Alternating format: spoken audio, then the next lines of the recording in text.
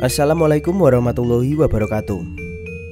Bali merupakan pulau terindah ketiga di dunia pada tahun 2019 berdasarkan survei Travel and Leisure dari majalah travel terkemuka dunia.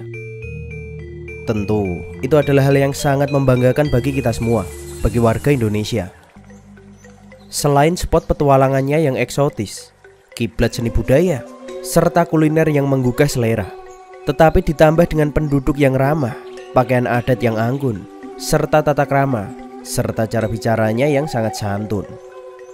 Hal itu tak pernah lepas dari stigma Bali yang menjadi daya pikat turis untuk datang menikmati suasana Bali. Namun, kala itu Bali pernah diresahkan oleh ulah seorang warga asing yang kerap membuat onar. Salah satunya yang paling terngiang adalah soal Amokren Sabet, yaitu warga negara asing, tepatnya dari Perancis yang dikabarkan kerap mengganggu ketenangan dan juga kenyamanan warga Berawa. Hingga akhirnya ia harus dieksekusi oleh polisi. Lantas seperti apa cerita selengkapnya? Dan kenapa juga ia harus dieksekusi? Simak video ini dan selamat datang di channel Bang Page Illustration.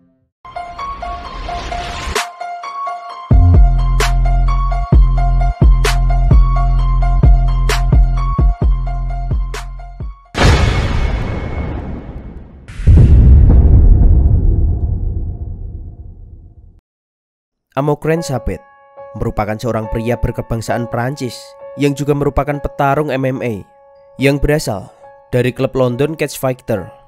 Namun sayangnya, karir yang ia raih ternyata tak cukup gemilang untuk menaikkan namanya. Pertarungan pertama Amokren dilaksanakan pada 5 Desember 1999 yaitu melawan Mike Tomlinson di event MB1. Pertarungan itu dilabeli dengan The Beginning. Dalam pertarungan perdananya, Amokren Sabet berhasil mengalahkan sang lawan. Dan setelah pertarungan pertama ini, entah kenapa Amokren malah vakum bertarung selama kurang lebih 10 tahun lamanya. Juga tak diketahui apakah alasannya menghilang dari ring selama satu dekade tersebut. Hingga pada akhirnya, dia baru kembali naik ke ring pada 19 September tahun 2009 untuk menghadapi Ben Smith. Pertarungan di event UC MMA 7 tersebut hanya berlangsung selama 3 menit 9 detik. Dan pria dengan nama panggung Kiane itu harus kalah KO. He didn't do any amateur bouts, has never done anything professionally, and he he debuted as a headliner. Pada tahun 2009, ia juga sempat membintangi sebuah film yang berjudul K yang disutradarai oleh John Allen. Setahun berselang, Amokren Sabet kembali menantang Ben Smith di event UC MMA 15 yang saat itu ia tengah berjuang dalam perebutan gelar heavyweight. Namun lagi-lagi ia harus takluk di ring hanya dalam waktu 3 menit 13 detik. Adapun pertarungan terakhir yang dijalani oleh Amokren adalah pada 4 Mei 2011 dalam event UC MMA 20 melawan Tomasz Czerwinski asal Polandia. Namun, Amokren lagi-lagi tak mampu melakukan perlawanan hingga akhirnya ia harus kalah lagi. Dan setelah semua karir pertarungan yang buruk itu, yang menghilang dari dunia MMA dan tidak pernah kembali lagi. Dan itulah rekor pertandingan Amokren dalam empat kali pertarungan dan hanya membuahkan satu kemenangan. Menurut berbagai sumber, Amokren memang hanya empat kali naik ring dalam sejarah pertandingan profesional dan dalam lima tahun terakhir tidak ada pertarungan atas nama dirinya. Namun di sini Amokren tak hilang akal. Pendapatannya selama berkarir dalam dunia MMA dan juga sebagai bintang film, ia kumpulkan untuk membuka beberapa perusahaan security dan juga sebuah klub malam di London yang bernama Fandom. Dan sejak saat itu, kehidupannya berubah 180 derajat. Ia sudah bisa membeli sebuah rumah mewah dan juga banyak properti mewah lainnya Walaupun berbadan kekar dan juga berwajah seram, Amokren dikenal sebagai sosok yang baik. Ia dikenal senang membantu kerabatnya yang sedang kesusahan. Ia juga sampai pernah membuatkan sebuah rumah untuk salah satu kerabatnya. Namun sikapnya mulai terlihat berubah tepat setelah ayahnya meninggal. Amokren dikenal sebagai sosok yang sangat dekat dengan sang ayah. Ia selalu meminta nasihat dan juga mencurahkan masalah apa pun kepada sang ayah. Dan hal itu membuatnya tak lagi memiliki panutan. Dan selama tiga tahun menjalankan bisnisnya, ia pun menjadi orang yang cukup sukses. Hingga pada tahun 2014, ia memutuskan untuk pindah ke Bali. Ia datang ke Indonesia dengan menggunakan paspor turis dan hanya berlaku sampai Desember 2015. Di Pulau Bali, ia menyewa sebuah villa di Jalan Pantai Brawa, Titu Beneng, Kuta Utara. Kondisi Amokren saat itu bisa dikatakan sudah mulai berubah. Ia bahkan sering mengaku-ngaku bahwa dirinya adalah anak Tuhan. Dan tak lama setelah itu juga, Amokren juga mulai mentato tubuhnya dengan tato-tato yang aneh yang membuatnya juga makin terlihat sangar. Apalagi dengan badannya yang besar menambah siapa pun yang membuatnya merasa ngeri dan tak ingin membuat masalah dengannya. Bahkan, Amokren juga sering membuat masalah di jalanan saat menyetir mobilnya, sehingga ia sering membuat kemacetan. Bahkan ia juga pernah menggoda seorang istri pria bule dengan berkata jika ia ingin meminjam istrinya hanya untuk semalam.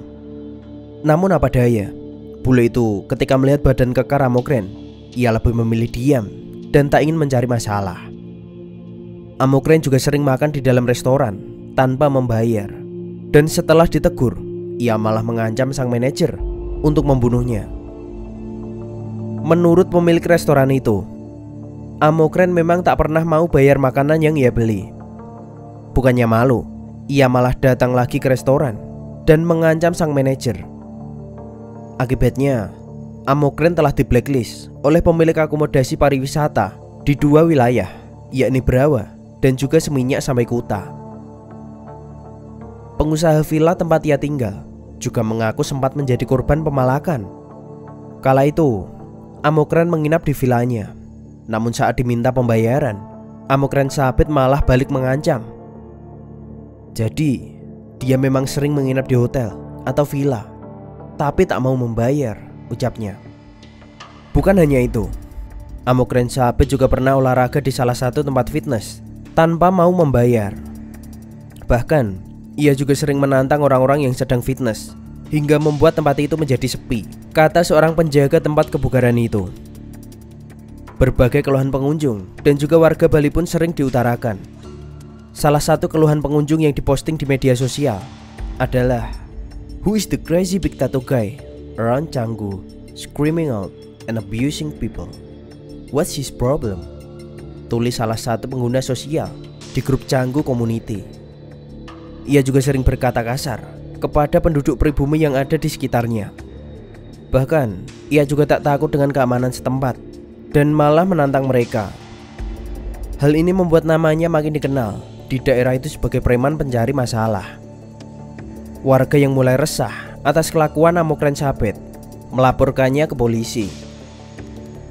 Pihak kepolisian yang mendapat laporan tidak langsung menangkapnya, namun lebih dahulu memberikannya surat panggilan agar Amokren datang ke kantor polisi setempat. Namun bahkan setelah tiga kali ia mendapat surat itu, Amokren tetap tidak menggubrisnya dan bahkan ia pernah sekali menyobek surat itu tepat di depan mata kepala polisi yang menyebutnya. Ditambah lagi, polisi menemukan bukti izin tinggal Amokren yang sudah habis September 2015 lalu. Hingga keberadaannya sekarang bisa dibilang ilegal karena tinggal dengan izin yang sudah habis. Oleh karena semua masalah itu, pada Senin 2 Mei 2016 pukul 11 pagi, pihak kepolisian dibantu oleh pihak imigrasi Bandara Ngurah Rai mendatangi kediaman Amokren untuk melakukan upaya penjemputan paksa. Mengetahui target mereka adalah pria pencari masalah dengan badan yang kekar, jajaran kepolisian beserta Kapolsek kemudian menerjunkan tim gabungan dari Provos Polda Bali dengan total ada 23 personel yang dibekali dengan peluru karet dan juga peluru tajam untuk mengawal jalannya eksekusi penjemputan. Sebelum terjun ke lokasi untuk menangkap Amokren, Senin pagi, petugas gabungan sempat melakukan rapat koordinasi di Mapolsek Kuta Utara untuk membahas langkah-langkah dalam upaya penangkapan bule berbadan kekari itu. Rapat koordinasi dipimpin langsung oleh Kapolsek Kuta Utara, Kompol Iwayan Arta Aryawan dengan dihadiri oleh Kabit Penindakan Imigrasi Bandara Ngurah Rai yaitu Muhammad Soleh.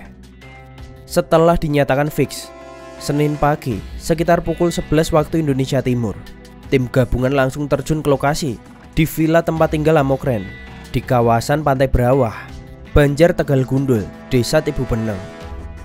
Awalnya sempat dilakukan negosiasi antar petugas yang dipimpin oleh Kapolsek dengan Amokren. Dan di dalam perundingan singkat itu, Amokren sahabat tidak terima dan malah marah atas kehadiran petugas. Amokren pun keluar rumah sambil membawa sebuah pisau. Ia menantang petugas untuk berkelahi dan bahkan meminta untuk ditembak. Tak hanya menantang, Amokren juga melontarkan kata-kata hinaan kepada polisi dan bahkan Presiden Jokowi. Ia kemudian menyerang secara membabi buta semua petugas yang ada di depannya. Dan karena berusaha melawan, petugas memberikan tembakan peringatan sebanyak tiga kali. Dan atas tembakan itu, Amokren malah semakin menjadi-jadi hingga pria gundul itu mengejar seorang petugas yang paling dekat, yaitu Brigadir Anak Agung Putusudi yang berdiri di depannya. Menurut informasi yang beredar, Brigadir Sudi yang tidak siap dengan senjatanya langsung lari. Dan saat berlari inilah, ia malah tertabrak oleh sebuah mobil Avanza yang kebetulan sedang melaju di lokasi hingga ia terpental dan jatuh ke parit. Melihat peluang itu, Amokren mengejarnya dan ikut melompat ke dalam parit, kemudian menyerangnya. Delapan tusukan dilayangkan oleh Amokren dalam aksi bengisnya itu. Tusukan itu menghujam brigadir di bagian paha, leher, dada, bahkan sampai mengenai jantungnya. Petugas gabungan bersenjata lengkap yang ada di lokasi kala itu langsung memberondong tubuh Amokren dengan peluru karet. Amokren menerima sangat banyak tembakan dari peluru karet, namun ia tak jatuh juga dan malah beranjak dari parit dan mencoba menyerang petugas lain. Atas hal itu, ia akhirnya ditembak dengan peluru tajam tepat di bagian kepalanya. Amokren langsung ambruk di tepi parit itu.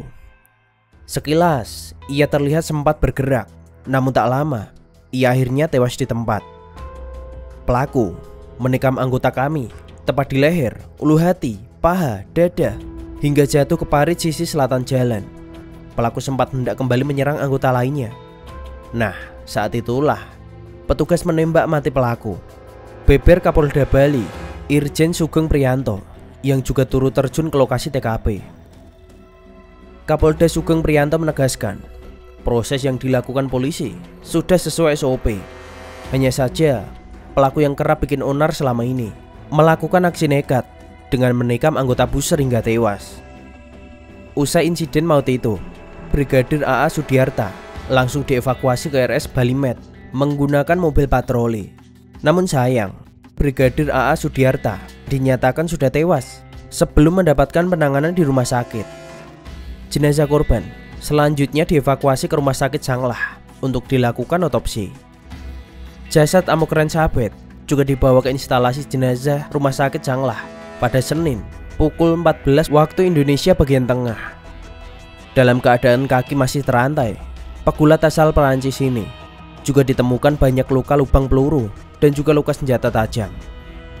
Hal itu terkuak dari hasil visum awal tim instalasi forensik RSUP Sanglah dan Pasar. Kepala instalasi kedokteran forensik membeberkan jika pada tubuh jenazah ditemukan beberapa luka lubang tembakan dan juga luka senjata tajam. Sontak kejadian ini pun cukup menghebohkan, tak hanya di dalam negeri, tetapi sampai penjuru dunia. Kantor berita asing ternama, yaitu Straits Times, juga turut membenarkan insiden ini dengan judul Bali Police Shoot Dead Frenchman Resisting Arrest. Selain itu, portal-portal berita internasional seperti ABC News, Daily Mail, Asian Correspondent, dan juga website resmi MMA, ShareDoc, juga tak kalah heboh dalam menanggapi peristiwa mencengangkan ini. Mayoritas netizen Indonesia juga mendukung tindakan yang dilakukan oleh pihak kepolisian Indonesia, terutama untuk warga Bali. Mereka tak perlu lagi resah akibat banyaknya keonaran yang terjadi yang disebabkan oleh Hamokren. Sedangkan sejumlah warga asing juga ikut menanggapi kematian Amokren. Mereka menilai jika kepolisian Indonesia terlalu kejam dan tidak berperi kemanusiaan. Bahkan tak sedikit dari netizen luar negeri yang memberikan rasa simpati atas kematian petarung MMA itu. Dan itulah dia, kisah tragis dan brutal yang dilakukan oleh Hamokren Sabit. Bang Pets dalam kasus ini bersikap netral. Hukum memang harus selalu ditegakkan, tak memandang kepada siapa hukum itu dihadapkan. Tak lupa juga, Bang Pet mengucapkan turut berduka cita kepada korban yaitu Brigadir Anak Agung Putusudi.